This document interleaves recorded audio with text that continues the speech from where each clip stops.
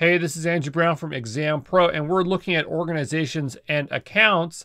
So when you first sign up for AWS, you um, are creating a single account, and that first user you're logging in as is the root user, okay?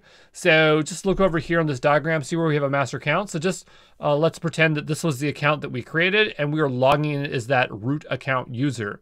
So what you can do is you can promote your account into an organization uh, and so what that's going to allow you to do is going to allow you to create multiple accounts within that organization. So now that original account is now a master account and underneath it, you can create multiple accounts okay? So why would you want to do this? Well if you're uh, uh, an organization you might want to like uh, uh isolate uh, different departments uh, within your company and also to have fine-tuned control over what they have access to on mass okay? So the idea here is like, let's say you have a development team on one side and there's multiple accounts. You can put them within an organizational unit and then use a service control policy to apply rules about what services they can and cannot use uh, on mass, okay?